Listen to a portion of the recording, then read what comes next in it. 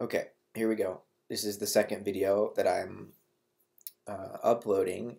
where I discuss the Richard Dawkins Brett Weinstein debate. In the last video, I laid out um, a key disagreement that I have with both of them, having to do with the role of genes versus the role of organisms in um, the evolutionary process and how we explain life. I totally disagree with the, the gene centric um, approach in biology because I think it negates or at least downplays the role of organisms in the evolutionary process, uh, where individual organisms have a sort of um, creative, anticipatory capacity that merely looking at um, genetic replicator mechanisms misses. Now in this video I want to talk a little bit about the extent to which human beings, human culture, human society can be understood evolutionarily, can be understood as um, continuous with the, the process of um, animal evolution and plant evolution and um, single cell evolution that preceded us, uh, if we have that lineage, that biological lineage, clearly there must be uh, something about our, our human behavior that is inherited from that lineage. And so, in that sense, I agree, I think, well, with both Weinstein and, and Dawkins, that, um, you know, human beings are evolved creatures. But where I disagree with each of them, and for different reasons, is that I don't think we can understand evolution purely through genetic replication, as I've already um, described. And I also don't think that what we call human consciousness is in any way separate from um, that process of biological evolution, such that it could turn back on the process, turn, turn, turn back on itself, and rebel. Uh, you know, so when Dawkins says that humans need to rebel against their selfish genes, and where um, Weinstein agrees with him, but says, you know, we rebel against it by gaining conscious control over processes of mimetic evolution, which Weinstein thinks are selected genetically for their survival value. What I'm saying is that there's no separate consciousness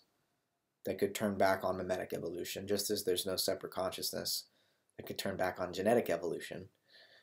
Because somehow or another, we're going to need to explain consciousness so that it is not a miracle that emerged uh, at some point in the last few thousand years when humans what like invented language or something. Clearly, written language is uh, an enhancement of a complexification of an augmentation of something um, that came before, and it's radically new, but not so radically new that it constitutes this sharp break in the evolutionary continuum. Consciousness has been, I would argue, present the whole time, throughout the entire evolutionary process, not in the same form, not in the same with the same capacity. But when I talk about the creativity of individual organisms, what I'm talking about is the role of consciousness in um,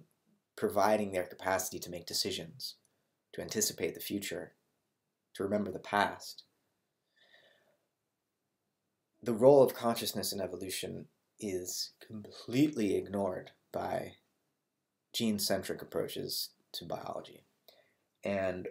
so I'm interested in what Alfred North Whitehead would call an, a non bifurcated understanding of nature, uh, where if we're going to understand how human beings are, in fact, evolved organisms, then we're going to need to understand how it is uh, that an evolutionary process led to conscious, reflective, free, at least potentially free uh, beings like us. And Whitehead thinks that the way to do that,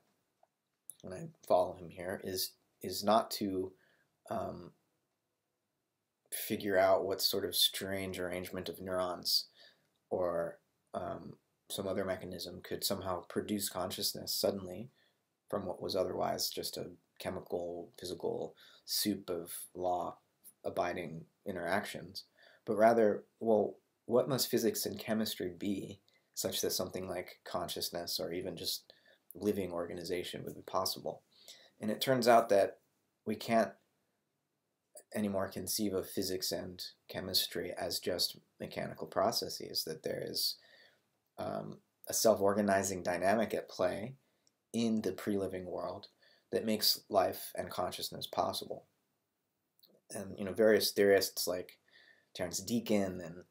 um, Evan Thompson, um, biosemioticians like Jasper Hoffmeyer, that they're, they're trying to understand how um, physics and chemistry might in fact be semiotic processes, right? Processes of, of, of, of, of sign exchange already. And so when we talk about, you know, the genome and the way that uh, DNA seems to stand for certain, you know, traits, there's a semiotic relationship here, which is to say that um, there is meaning in the world outside the context of just human culture and language.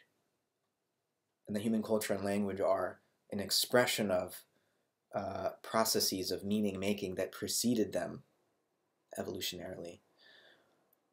And so breaking down this dualism between consciousness, human consciousness, and the biological process that led to it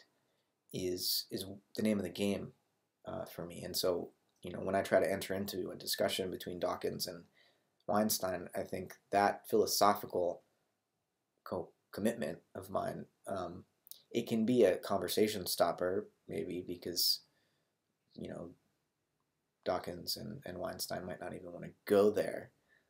But I'm interested in having that conversation if, if they are, or if anyone else who has a stake in this debate wants to go there. So let me know what you think.